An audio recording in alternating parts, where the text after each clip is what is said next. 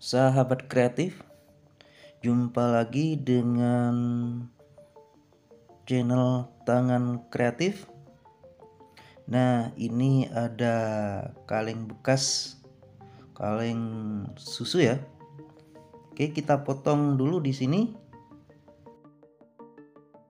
Untuk mempersingkat video, di sini saya udah siapin satu kaleng lagi yang sudah dilepas bagian atasnya. Nah seperti ini. Kemudian kita siapin ini seng ya. Nah seperti ini. Oke dengan menggunakan paku ini kita bikin lubang ya. Nah di sini.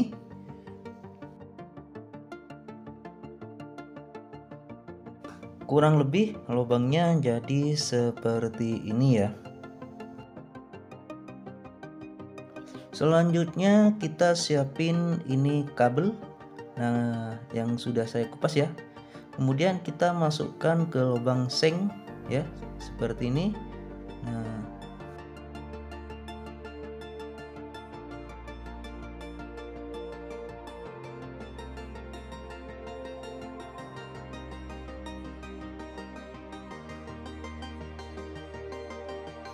kemudian kita tekuk atau kita lipat ya bagian seng ini. Nah seperti ini.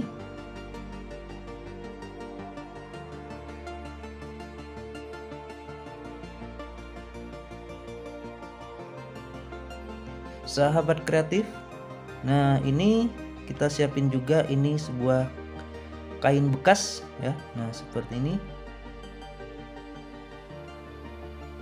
kemudian kita bungkus ini bagian seng dengan kain bekas ya. Nah seperti ini.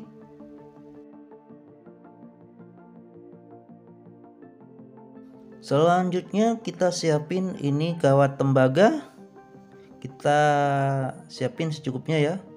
Terus kita lilitkan ke ini seng yang sudah dibungkus dengan kain. Nah seperti ini. Oke kita lilitkan dulu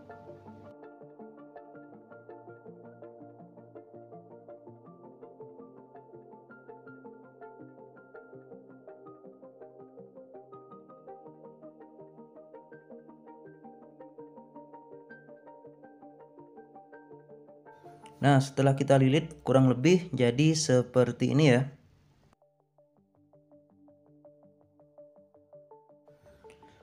Oke, kita potong ini bagian kawat tembaga karena ini terlalu panjang ya. Kita ambil secukupnya.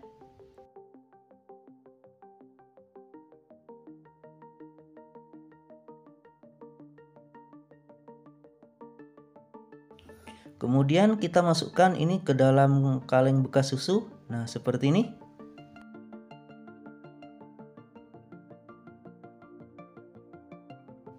Nah, kita masukkan lagi ini beberapa helai kain. Nah, seperti ini. Ini untuk menghindari konslet aja ya.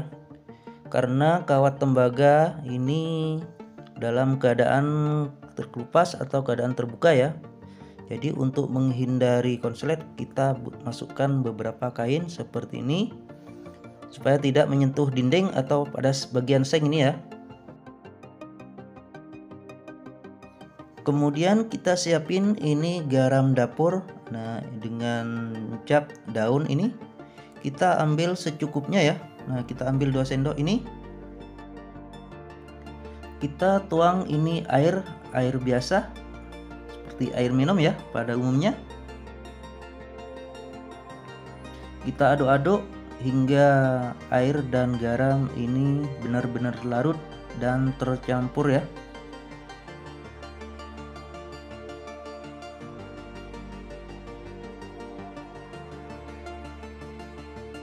Kalau udah larut langsung kita masukkan ini ya ke dalam kaleng. Nah seperti ini.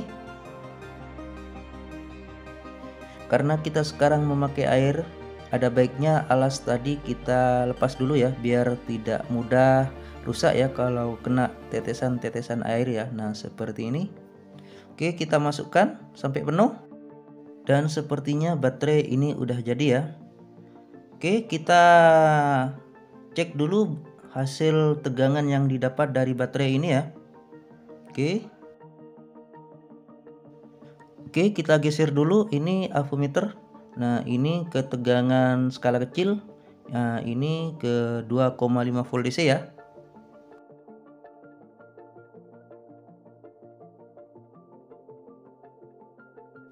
Langsung kita tes ini hasil tegangan yang didapat. Oke. Kita perhatikan ini jarum pada avometernya ya. Nah, itu menunjukkan kurang lebih 0,5 volt DC ya. Nah, tadi menunjukkan angka di sini ya, 0,5 DC ya. Oke. Sekali lagi kita cek. Nah, itu ya menunjukkan 0,5 volt DC ya.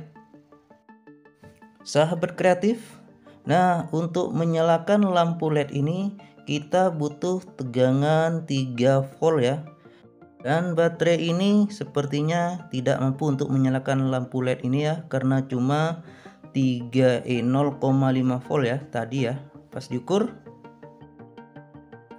Nah di sini saya udah siapin ini baterai-baterai kecil yang dari pipa paralon berjumlah 10 ini.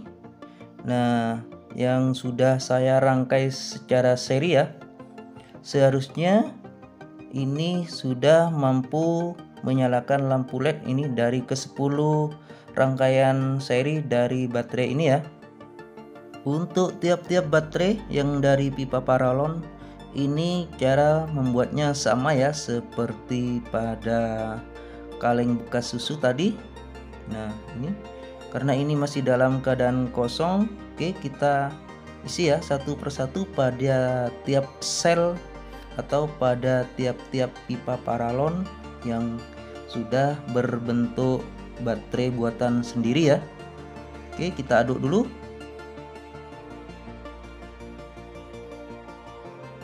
Karena pada pengukuran satu baterai tadi yaitu pada kaleng bekas susu itu menghasilkan 0,5 volt DC maka dengan rangkaian seri seperti ini dengan berjumlah 10 baterai ya ini kurang lebih menghasilkan tegangan minimal 3 volt DC ya dan mampu menyalakan lampu LED tadi ya.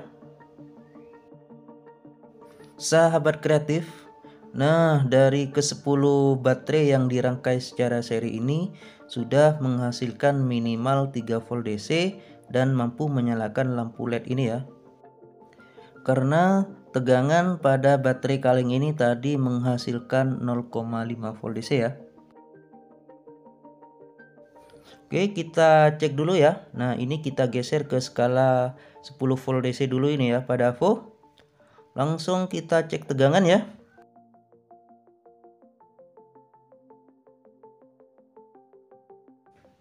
Nah ini udah dipindah ke skala 10 volt DC ya Oke langsung kita cek dan kita perhatikan jarum pada avometer ya.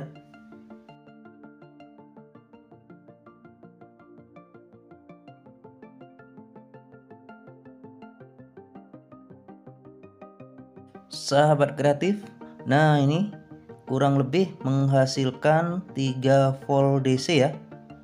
Dan seharusnya ini mampu menyalakan lampu LED yang kita maksud tadi nah lampu LED ini. Oke langsung kita sambung ya. Nah ini sepertinya ini kebalik. Oke kita pelintir dulu. Nah di sini. Kalau misalnya nggak nyala ini ya. Nah ini kita bisa tukar posisi ya antara kutub positif dan kutub negatifnya ya. Oke karena ini terlalu pendek kita potong dulu dan kita bakar ini pakai korek supaya kawat tembaganya jadi lebih panjang ya. Oke langsung kita sambung ini ke kawat tembaga. Nah sepertinya ini lampu led mulai menyala ya. Nah itu ya. Oke kita kencengkan dulu ini pada pelintiran pada kawat tembaganya ini. Dan sepertinya lampu LED udah berhasil nyala ini ya.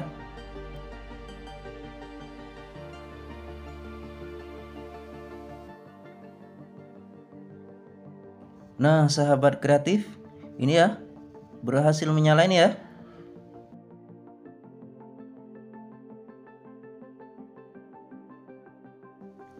Dan ternyata baterai buatan sendiri yang berasal dari larutan air garam ini berhasil dan mampu menyalakan lampu LED 3 volt ini ya.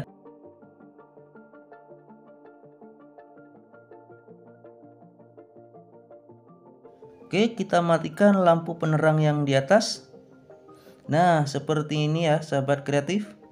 Ini jelas ya. Dari cahaya lampu LED-nya benar-benar terang ini ya misalnya tegangan pada masing-masing baterai udah habis kita tinggal ganti larutan air garamnya ya. Nah seperti ini. Oke sahabat kreatif berhasil ini ya buat baterai sendiri dari larutan air garam. Semoga bermanfaat dan salam dari tangan kreatif.